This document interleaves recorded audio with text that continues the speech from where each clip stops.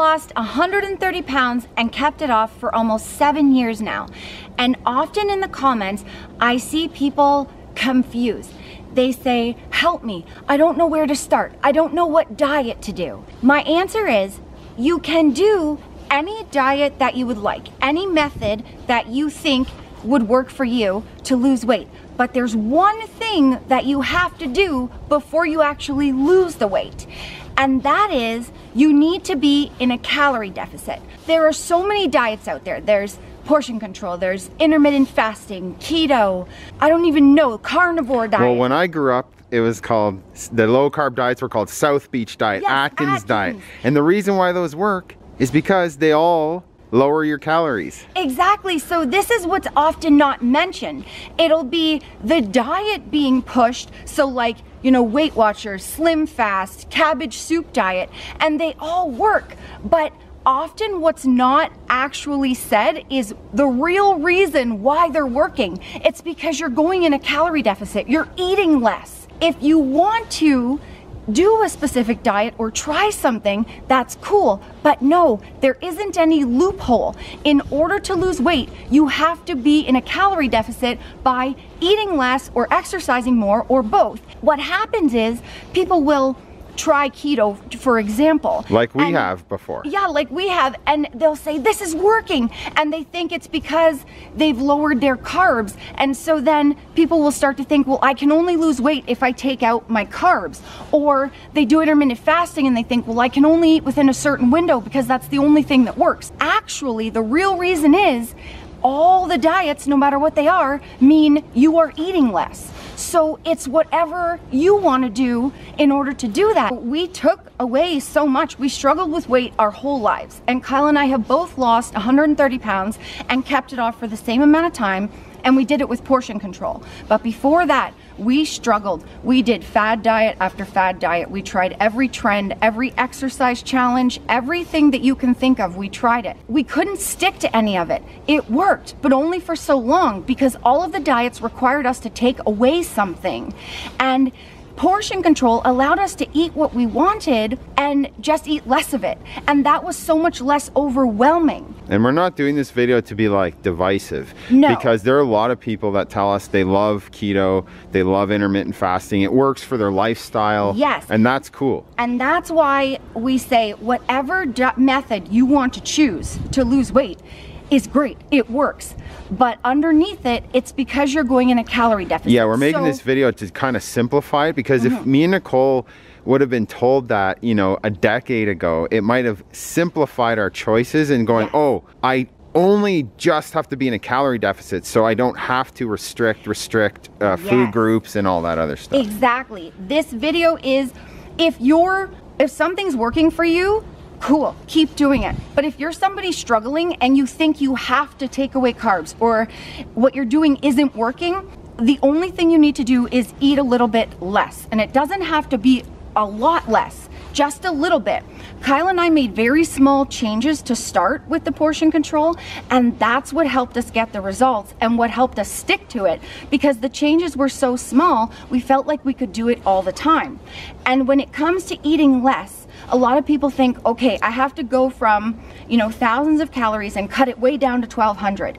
You, it doesn't have to be a lot less. There are ways to eat a little bit less or eat in a calorie deficit without taking away massive amounts of food and lowering your intake massive by massive amounts of calories. For some of the things that we did in the very beginning, were very simple. For instance, I loved pop. I drank seven cans of Dr. Pepper every single day, the regular pop. I wasn't ready to not drink seven cans of pop, but what I was ready for was to switch it to diet. So instead of seven regular, I drank seven diet Dr. Pepper.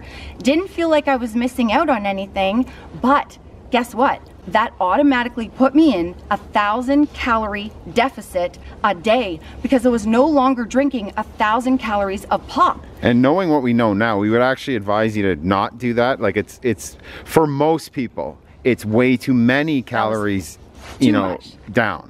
We where you don't have to do it that fast. You don't have to do it that fast. You can switch over one. If you're drinking seven, you can drink six regular and do one diet, and that'll put you, one can is like 140 calories. So that already puts you in 140 calorie deficit a day if you're doing that a day. So, like for instance, the, the, to go more into what we used to get stuck on when we were growing up, there was something called the cabbage soup diet. Yes, which And- I did.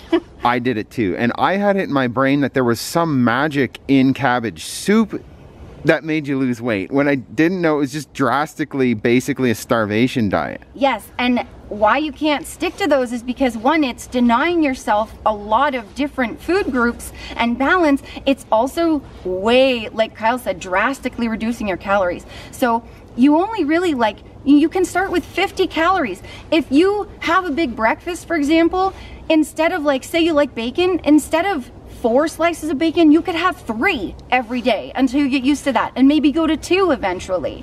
You know, it doesn't have to be major cutting calories. You can eat a balanced diet, you can eat the food you like, just lowering it a little bit will help you get results like right away. And why it? Because why it helps you get results is because it's sustainable that way. Like, um, if you're eating four whole eggs for breakfast, one egg less is 70 calories. That's a lot. Yeah, that's a big deficit. if you're not day. if you're not used to dieting or you think like me and Nicole used to think that it has to be hundreds or even worse thousands of calories down from what you normally eat it, it's very scary to think that you have to take away and starve yourself when starting any diet when re- in reality like Nicole said it's just a little bit of calories can do the trick And if you take away too many calories, you you're gonna lose weight. If you take away too many too fast, um, you're gonna lose weight, and you're gonna think, oh, it's gonna keep falling off like this so fast. But the thing is, once your body gets used to what you're doing, it's not gonna lose weight anymore. And losing it too fast usually means you're not gonna be able to keep it off because you're probably doing it in a way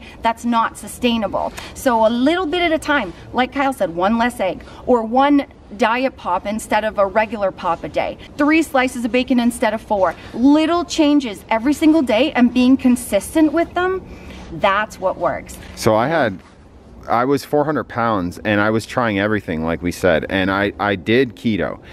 I lost 60 pounds in like two months, which I thought was amazing. Right. But it wasn't because I was starving. And like Nicole said, by, you know, four or five weeks in, my fast weight loss wasn't fast. All of a sudden, I plateaued. And then I started gaining weight on keto. And I did not add in carbs, I did not add in sugar. I was just eating too many calories. And I'll tell you one story. I found this diet in a magazine when I was a teenager and I lost 20 pounds in two weeks. It was a low carb diet, but at the time I was a vegetarian. So I and I wasn't really eating that great for a vegetarian a vegetarian. So when I took away the carbs, I was eating basically veggies and pickles and some cheese. And I was like, wow, this is great, this low carb diet. But really, I was under eating. I wasn't even doing the diet properly. I lost 20 pounds in two weeks, and I thought that would happen forever. It was way too much too fast in a non sustainable way. And I ended up doing the same as Kyle. I started to gain a lot of weight back, all the weight back that I lost, plus more. So this is gonna sound funny how I'm gonna say this, but I just have to say it. I don't know, I'm not a wordsmith. Every diet can work, but the only diet that works is the one that you can sustain. Exactly. So, whatever method you choose to lose weight, if it's something that you don't like, you gotta love it or leave it. That's what I keep saying. If it's not, if you're not having fun, you're not getting it done. If you don't love it, if you're taking away bread and you love bread, um, that's probably not gonna work. So, stick something you can stick to is probably going to work. That's why Kyle and I were able to stick to portion control because it allowed us to eat everything that we loved, but a little bit less. Yeah, the one and only diet that's the best is the one that you personally can stick to. And uh, whatever, you know, things, different things work for different people. Portion control worked for us. Find what works for you. If you love it, you're more likely to stick to it. And if you guys want to know exactly what Kyle and I ate to lose our first and next 50 pounds, we do have two weight loss guides in the links down below.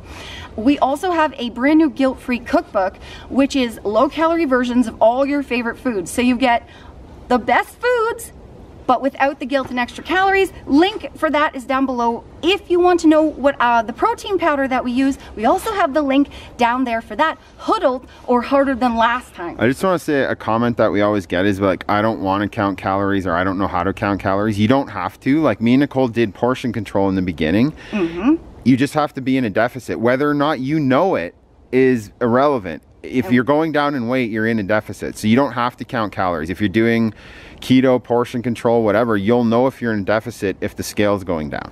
Yeah, we we actually didn't count calories. We measured out portions according to the backs of nutrition labels and that was it. Then we started losing the weight. We weighed ourselves once a week, and if we were losing weight, we knew we were eating the right amount.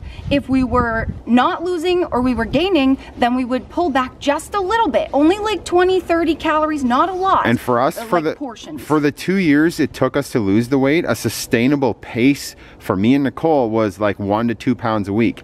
Now in Yeah. the beginning, we still ate the same way we did the whole time. It's just it fell off faster in the beginning because we had so much weight to lose. Yeah, we lost 50 pounds in three months, but that's because we had a lot of weight to lose. Then it slowed down to a good pace, which was one to two pounds a week for us. So hopefully that helps you guys out. One, a good diet, one you can stick to. And you can watch these two videos for more info on how we did that or what, you know, maybe you'll find something that worked for you. We love you guys. Thanks for watching. You're beautiful. We did pretty good out in the cold. yeah, we did. And Kyle has a light on his head. Yep. Bye. Whatever it takes, right, babe? Whatever. right, babe. Remember the friends that weight loss isn't just about the number on the scale. It's also about here and here, heart and mindset. Fight through it,